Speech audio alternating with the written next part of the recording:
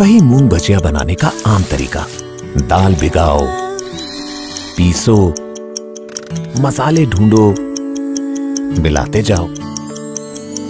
और ये है स्मार्ट तरीका। बिना झंझट मूंग भजिया फटाफट। अगरवाल 420 मूंग भजिया इंस्टेंट मिक्स सिर्फ़ 10 मिनट में तैयार।